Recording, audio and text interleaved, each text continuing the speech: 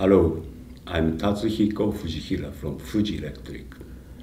It's my great honor to be inducted into the ISPSD Hall of Fame.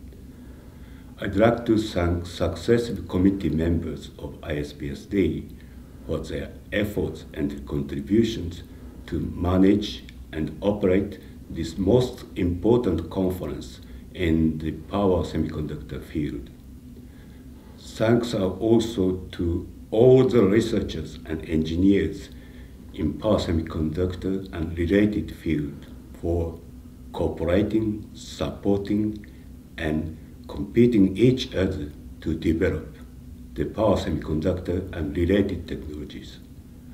I'd also like to thank management and employees of Fuji Electric, its customers and suppliers for their continuous support. Today, I'd like to address an important topic, the extinction of species. There were five mass extinction events during these 500 million years.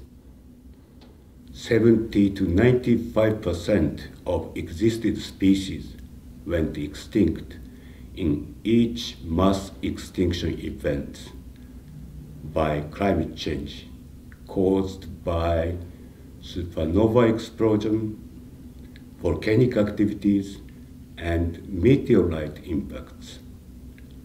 Presently, researchers in species are predicting that half of the species will go extinct in the next hundred years, and the present mass extinction is caused by human activity, climate change due to human causes, environmental pollution, destruction of nature, and so on.